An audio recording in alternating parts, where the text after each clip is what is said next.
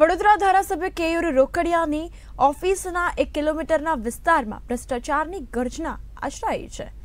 Gorwa police station પાછળના વિસ્તાર અને નિલેશનગર પાછળ ગરીબનગર ગોરવામાં પહેલા વરસાદમાં જ બે મહિના પહેલા જ એક ગટર લાઇન બેસી ગઈ હતી અને મસમોટો ભૂવો પડ્યો હતો. અને એવા દ્રશ્યો પણ જોવા મળ્યા છે. બે મહિના પહેલા જ આ ગટર લાઇન બનાવવામાં આવી હતી અને અત્યારે આ ગટર લાઇન બેસી ગઈ છે. નાના બાળકો અને મહિલાઓ અને સ્થાનિક લોકોને અવરજવર કરવામાં મુશ્કેલીનો સામનો કરવો પડે છે તેમજ વાહન લઈ જવા અને લાવવા માટે પણ ભારે હાલાકીનો સામનો કરવો પડે છે. જો ઉચ્ચ અધિકારીઓ દ્વારા નિષ્પક્ષ દેખરેખ થાય, તો આ ગટરના કામકાજમાં મોટો ભ્રષ્ટાચાર સામે આવે તેવી શક્યતાઓ રહેલી છે.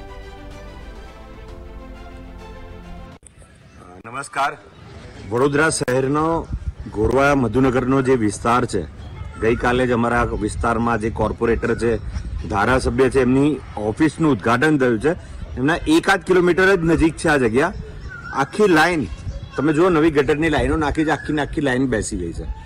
આ રોડ પર કેટલા બધા બાળકો રમતા હોય છે, આજુબાજુના સોસાયટીનો અવર જવરનો રસ્તો છે. આખી લાઈન આ તો ચોમાસાના પહેલા વરસાદમાં જ છે.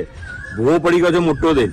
પણ જો આ પાણીમાં ભરાઈ ગયું અને આમાં કોઈ સ્થાનિક રહીશ કે કોઈ બાળક કે કોઈ નાગરિક જો ગયું અને પડી ગયું ને ડૂબી ગયું ને મરી ગયું, તો એની જવાબદારી કોની? અને આ પૈસા જે રીતનું તમે ગટરની લાઈન બનાવી છે, આ કોના પૈસા છે?